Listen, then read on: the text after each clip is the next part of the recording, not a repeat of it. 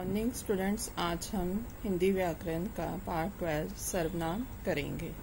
सर्वनाम शब्द दो शब्दों के मेल से बना है। सर्व प्लस नाम। सर्वनाम। सर्व का मतलब सब। नामों, संज्ञाओं के बदले जो शब्द आते हैं, उन्हें सर्वनाम कहते हैं। और इसे हम ऐसे भी कह सकते हैं, संज्ञा के स्थान पर प्रयोग होने वाले शब्द सर्वनाम कहलाते हैं। जैसे मैं, तू, तुम, आप, ये, वह, वे आदि। जैसे अजय दिल्ली में रहता है, वह सातवीं कक्षा में पढ़ता है। उसकी आयु दस वर्ष है। उसके पिताजी अध्यापक हैं। वह हर रोज स्कूल जाता है। यह उसका घर है। अभियुक्त वाक्यों में अजय संज्ञा है। पहले वाक्य में तो संज्ञा का प्रयोग हुआ है और अगले वाक्यों में संज्ञा के स्थान पर सर्वनामों का प्रयोग हुआ। जैसे वह उसकी, उसके वह यह, उसका आदि। अतः ये सभी शब्द सर्वनाम है। इसी तरह संज्ञा के स्थान पर प्रयोग होने वाले शब्द सर्वनाम कहलाते हैं। सर्वनाम के वेद सर्वनाम के निम्नलिखित शहीद भेद होते हैं। पुरुषवाचक सर्वनाम सेकंड निश्चयवाचक सर्वनाम थर्ड अनिश्चयवाचक सर्वनाम फोर्थ संबंधवाचक सर्वनाम फिफ्थ प्रेषणवाचक सर्वनाम सिक्स निजवाचक सर्वनाम फ़र्स्ट पुरुषवाचक सर्वनाम। बोलने वाला अपने लिए, सुनने वाले के लिए तथा किसी अन्य व्यक्ति के लिए जिन सर्वनाम शब्दों का प्रयोग करता है, उन्हें पुरुषवाचक सर्वनाम कहते हैं। जैसे पुरुषवाचक सर्वनाम के तीन भेद होते हैं।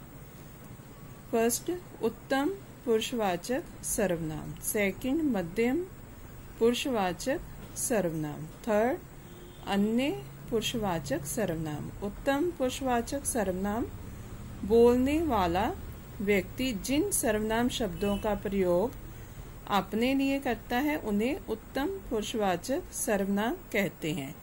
जैसे मैं, मेरा, हम, हमारा, हमें, मुझे, मुझको आदि। सेकंड मध्यम पुरुषवाचक सर्वनाम। बोलने वाला व्यक्ति जिन सर्वनाम शब्दों का प्रयोग सुनने वाले के लिए करता है, उन्हें मध्यम पुरुषवाचक सर्वनाम कहते हैं, जैसे तुम आप, तुम्हारी, तुम, तूने, आपके, आपने, तुझे आदि।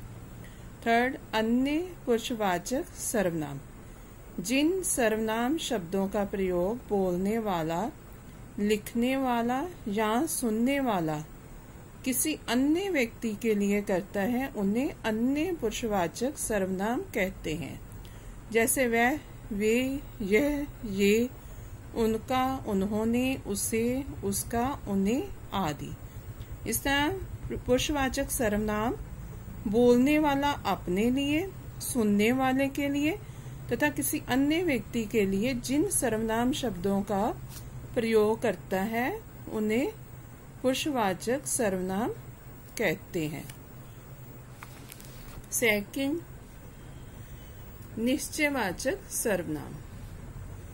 जिन सर्वनाम शब्दों का प्रयोग किसी निश्चित वस्तु, व्यक्ति या घटना के लिए किया जाता है, उन्हें निश्चयवाचक सर्वनाम कहते हैं। जैसे, ये भारत के प्रथम राष्ट्रपति हैं, यह लड़का है, वह लड़की गा रही है।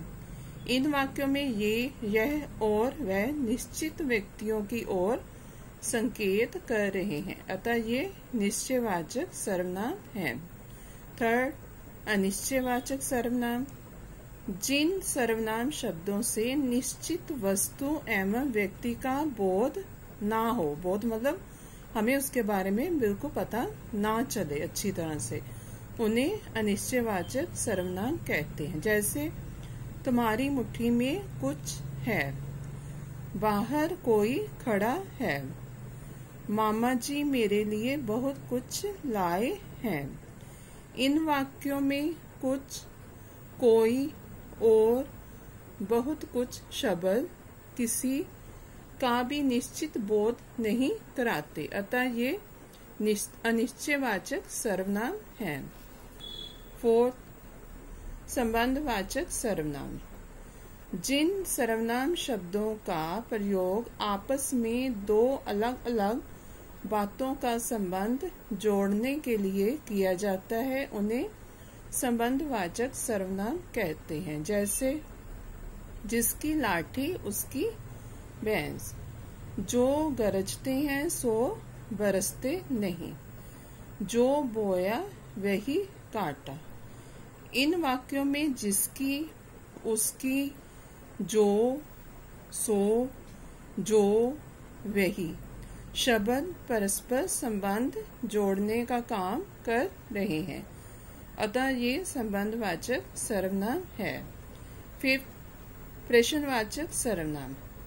जिन सर्वनाम शब्दों का प्रयोग प्रश्न पूछने के लिए किया जाता है, उन्हें प्रश्नवाचक सर्वनाम कहते हैं। जैसे, आपका क्या नाम है?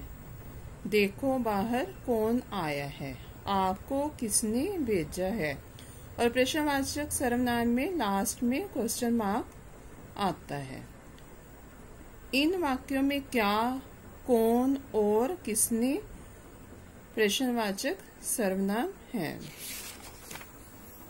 सिक्स निजवाचक सर्वनाम।